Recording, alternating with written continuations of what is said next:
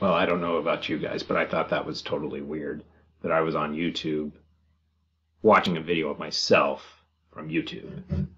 All right. Well, I hope this weirdness ends. Let's keep going.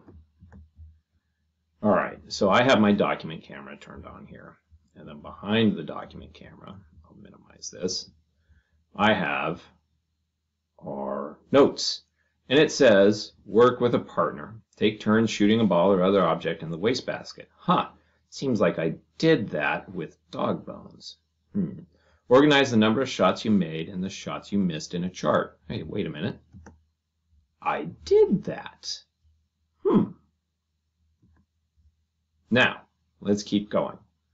Write a statement similar to those in Activity 1 that describes the relationship between the number of shots you made and the number of shots you missed. Okay, well, let's see here. Looking at this, I made three shots and I missed six. So, I made three shots and I missed six. Okay?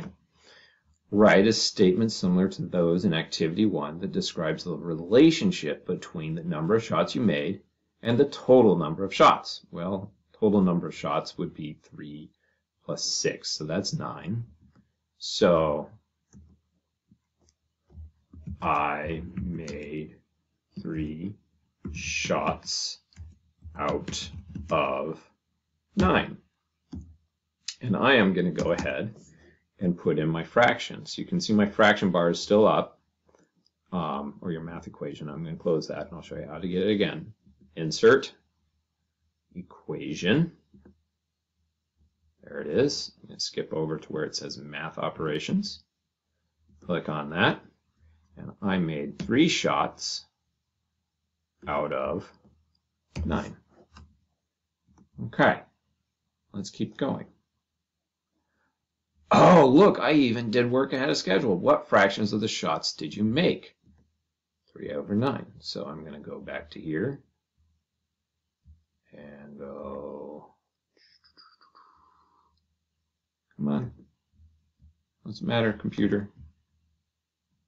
Computer.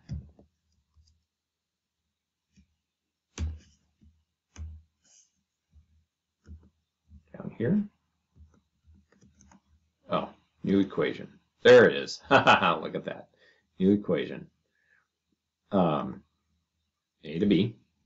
So I made 3 of of click 3 of 9 shots were made. And new equation. Math operations fraction 6 of 9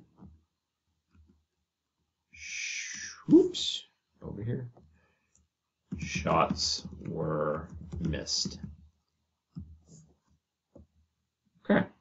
Activity three. You know what? I think that's enough for right now. We'll connect again on uh, on Monday. Have a great weekend.